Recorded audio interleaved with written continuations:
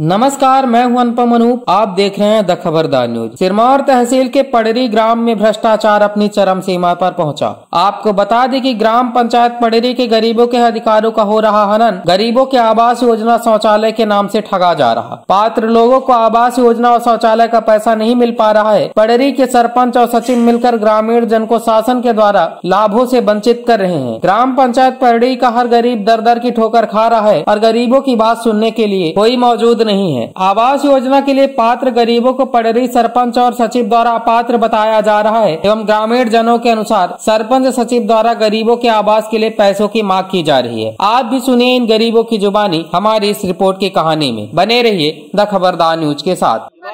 हाँ बनमान है लेकिन मिला नहीं ये सरपंच कहीं पैसा सरपंच ये विचारत कहीं बना ले तो मतलब बनवाल पैसा नहीं मिला बना पैसा नहीं मिला कुछ हाँ पैसा नहीं मिला। कुछ नहीं। पैसा मांगे थे का? अपना सरपंच या कहीं के हमका दस हज़ार रुपया ले आवा तो हम तुहाँ आवास देव नहीं करना देवे हम गरीब आदमी कहाँ पाई ऐसे ही फिर हमारा रुक गया दो हज़ार अठारह के हमारा सूची या नाम रहा तो नहीं हाँ। जनपद में जाके कुछ बोले ना जनपद माही गया तो गन सुनवाई नहीं हमारा कुछ नहीं मिला।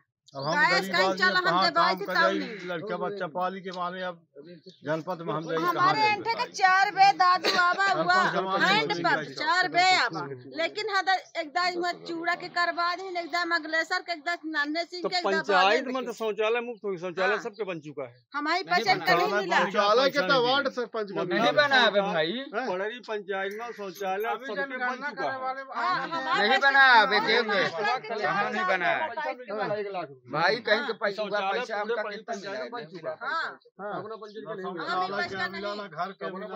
हाँ। कहा सबका पैसा पड़ेगी ना रहा है।